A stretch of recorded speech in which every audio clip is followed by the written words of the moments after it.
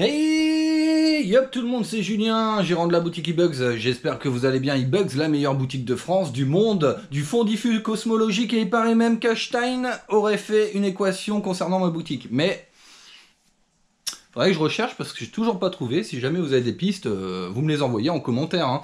Allez, aujourd'hui on va parler d'une bonne nouvelle. Oui, comme vous l'avez vu en titre, je suis papa d'une centaine de bébés, donc euh, bah écoutez, c'est beaucoup de boulot, mais euh, ça va, on a les biberons, on a tout ce qu'il faut. Euh, il y a quelques mois, j'avais fait une vidéo sur l'espèce Peucetia lucasi. Je sais pas si vous l'avez vu, si vous l'avez pas vu, allez voir dans les vidéos précédentes, n'hésitez pas. Et puis bah écoutez, j'avais décidé à ce moment-là de faire l'élevage, donc j'ai fait l'élevage. Et bah écoutez, ça a fonctionné, ça a très très bien fonctionné. Je vais vous montrer ça. Voilà, je vais juste enlever la vitre tout doucement parce que j'ai pas envie que les petits se barrent. Voilà. Et puis on va rentrer dans le vif du sujet, je vais vous raconter quelques anecdotes plutôt sympas. Donc là vous voyez la petite femelle qui est ici, euh, voilà, qui a l'abdomen encore bien rond. Je pense qu'elle va me refaire euh, euh, un cocon. À mon avis elle va en faire un, je le sens. Et puis là vous avez tous les petits bébés. Voilà, je vais essayer de pas trop bouger hein, pour pas qu'ils se partent, qu'ils se barrent en, en courant. Voilà. Donc vous voyez, il y en a pas mal, hein, il y en a une bonne centaine. Et donc bah écoutez, ça fait plaisir, ça s'est euh, très très bien passé. Hein. C'est pas une espèce qui est compliquée à élever, honnêtement. euh, J'ai pas eu de difficultés. J'ai mis euh, une femelle avec deux mâles. Euh, avec trois mâles, pardon. Euh, ce qui est un peu beaucoup parce que s'il y a trop, alors c'est bien d'avoir plus de mâles que de femelles. Par contre, s'il y a un ratio, euh, enfin il y a un ratio à respecter. Généralement, c'est une femelle, deux mâles. Euh, si vous en mettez plus, ça risque de, fa- de fatiguer la femelle. Et ceci pour tous les arthropodes. Hein. Vous voyez, par exemple les les, coléos, vaut mieux avoir. alors les coléos, c'est l'inverse. Hein. Vaut mieux avoir deux femelles et un mâle. Mais en tout cas, vous avez un ratio 2-1 euh, qui, marche bien et qu'il faut respecter. Euh, mais là, concrètement, l'accouplement chez euh, la plupart des araignées n'est pas hyper fatigant pour la femelle. Donc, au final, ça s'est bien passé. Il n'y a pas eu de soucis. Les mâles sont morts, hein, puisque les mâles vivent moins longtemps. Et puis, ben, la, la petite femelle, elle est là. Elle garde ses bébés. Attention, voilà, faut pas l'embêter. Là, je pense que là, si je mets ma main, elle va pas être contente.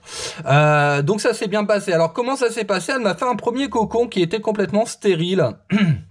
Alors pourquoi? Ben tout simplement, euh, comment je le sais? Parce qu'en fait, elle l'a, elle l'a fait, elle l'avait fait dans le coin là-bas, et elle l'avait complètement abandonné, vraiment. Alors pareil, hein, généralement chez la plupart des araignées, quand ils font des cocons, ils protègent les petits. Et là, je voyais bien que elle protégeait pas du tout, qu'elle l'avait laissé dans un coin, que ça l'intéressait pas du tout. Et euh, pour vous dire, il y a même un moment où elle l'a ouvert carrément. Euh, et donc euh, bon. Euh, je l'ai enlevé, je me suis dit, bon, à mon avis, c'est mort. Je l'ai quand même gardé un petit peu, et puis j'ai vu qu'en fait, au final, effectivement, c'était une ponte blanche, ce qu'on appelle une ponte blanche, c'est-à-dire une ponte complètement stérile. J'étais un peu déçu à ce moment-là, mais elle m'a refait un deuxième cocon qui est là. hein, vous voyez le reste du cocon ici, et euh, bah là, ça s'est euh, plutôt bien passé. Alors ça se passe bien, vous l'aviez vu, alors pour ceux qui avaient vu la vidéo hein, sur la fiche d'élevage, hein, chaud et humide, voilà, petite lampe chauffante, pulvérisation assez régulière, et puis bah écoutez, il n'y a aucune difficulté à ce moment-là. Alors ce qui est bien, j'ai pu observer, alors vous, pouvez l'observer juste là, ici, que les petits en fait euh, mangent des proies beaucoup plus grosses qu'elles. Là, vous voyez, elles sont, vraiment toutes petites, elles doivent faire 2 mm à peu près, et elles mangent du droso qui doit faire à peu près euh, 4 mm. Donc euh, voilà, alors ça c'est une observation que j'avais fait déjà dans le passé, hein, parce que euh, euh, je me souviens que j'avais eu des petits lucasi qui mangeaient quand même des mouches, et donc on voyait que la mouche a été euh, peut-être 10 fois plus grosse qu'elle, hein, euh, c'était euh, assez impressionnant. Donc c'est plutôt sympa parce que du coup vous n'avez pas forcément des tout petites proies à avoir, comme par exemple les, mouches de fruits, vous savez, les tout petits drosos volants. Là vous pouvez mettre du euh, traditionnel, on va dire entre guillemets, directement dans le terrarium, ça se passe très très bien. Alors vous voyez que les vitres sont dégueulasses. Alors ça, moi je les nettoie pas parce que ça sert à rien en fait, parce que si vous voulez, elle, elle se, nourrit- elle se nourrit pardon, principalement de mouches. Et les mouches, bah, ils font caca sur les vitres. Et très honnêtement, alors j'avais tenté au début de nettoyer un peu les vitres à chaque fois, et puis je me suis vite arrêté parce que entre les toiles qui forment, hein, vous voyez qu'ici il y a plein de toiles, voilà, et les mouches qui font caca tous les deux secondes, euh, très honnêtement, euh, ça sert à rien. Et puis en plus, elles se portent pas plus mal, hein, très honnêtement. Euh, donc bah écoutez, euh, moi je suis super content d'avoir ces petites naissances. Donc comment ça va se passer? Bah moi je vais attendre tout simplement ce qu'on appelle la sélection naturelle. Voilà, ça c'est un truc à faire euh, chez les arthropodes insectivores, enfin prédateurs hein, entre guillemets. Généralement, euh, chez les menthes, on le fait aussi. Euh, c'est-à-dire que quand vous avez des naissances, là vous voyez que c'est une naissance groupée, hein, parce que les araignées généralement restent en groupe pour la plupart quand ils naissent, et puis ensuite elles se séparent. Vous voyez là-bas, il y a déjà une qui s'est séparée du groupe, ici. voilà, qui est un peu plus grande, et elle s'est dit, bon bah moi ça y est, je, peux, je suis indépendante, lâchez-moi, j'en ai marre. Euh, j'ai envie de faire ma vie, euh, bon, puis elle s'est barrée. Voilà.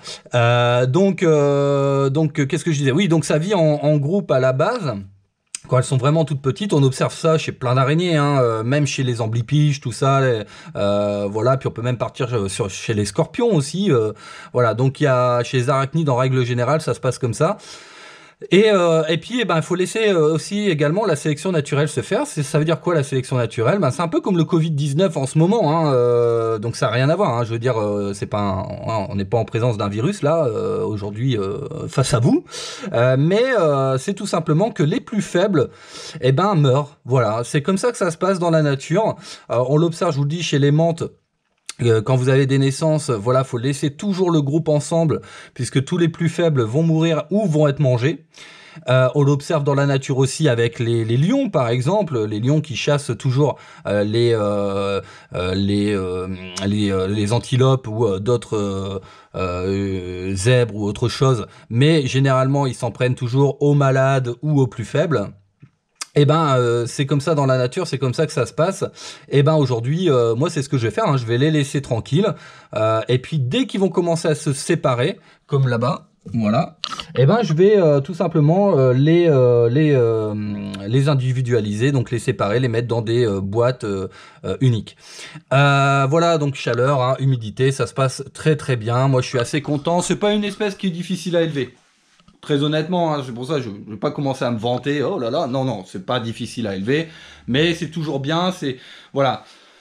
Quand vous êtes, euh, quand vous faites mon métier de, comme moi, de commerçant euh, d'arthropodes euh, en règle générale, c'est toujours bien de faire de l'élevage parce que vous avez quand même une joie derrière. Vous avez toujours ce petit truc euh, cette, petite passion qui vous prend en trip quand vous avez euh, des naissances comme ça. Moi, quand j'ai vu que j'avais des naissances, boum, c'est voilà, c'est génial. Je me dis super et tout. Et c'est pour ça d'ailleurs qu'ici chez Bugs, on fait également de l'élevage. On fait les deux. Voilà, on va faire de l'import et on va faire de l'élevage parce que euh, euh, bah moi je trouve ça important euh, de continuer à faire de l'élevage, euh, ne serait-ce que pour l'observation, parce que vous voyez par exemple sur cette espèce-là, si un jour j'ai un client qui me demande bah, comment on fait pour l'élever, je vais savoir tout lui dire de A à Z, puisque quand je les ai eus, ils étaient vraiment toutes petites.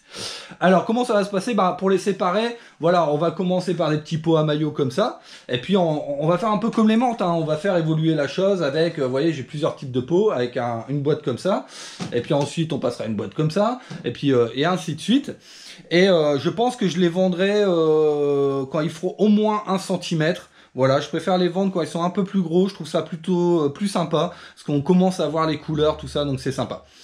Voilà ce qu'il fallait dire. Est-ce que j'ai oublié quelque chose? Ben je ne pense pas. Non. Gros arrivage dimanche. Voilà, soyez, soyez attentifs.